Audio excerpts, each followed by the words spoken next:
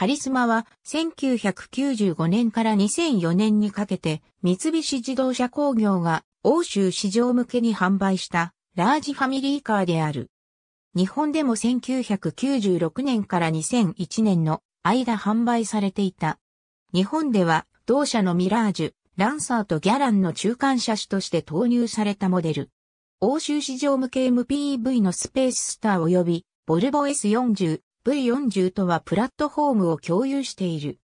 日本仕様は4ドアセダンボディに1.8リットルの時期、4サイチェ C16 バルブエンジンのみで、ファジーシフト制御を行うインベックス 24AT が、組み合わされた FF のみだが、欧州仕様は3ボックス風の5ドアハッチバックも設定され、ルノー製のターボディーゼルも選択できた。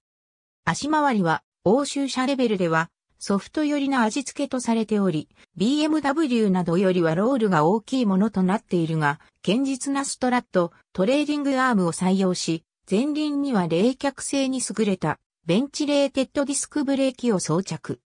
最上級グレード LS には ABS が標準のほか、助手席側も含め全席エアバッグを標準とするなど、全体的に充実装備なモデルに仕上がっている。日本での取り扱いはカープラザ店1000倍だった。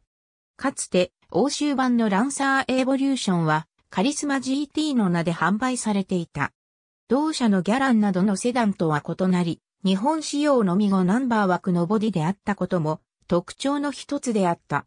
もともと日本では逆輸入車ということもあり、車自体の知名度も低く、当初から販売は低迷した。そのため日本に残る現存個体は非常に少ない。また、ディーラーによっては、廉価グレードを大幅値引きして販売するという、手こ入れもあったが、焼け石に水であった。神からの授かり物というギリシア語のカリスマと英語のカーを合わせてカリスマとした造語。ありがとうございます。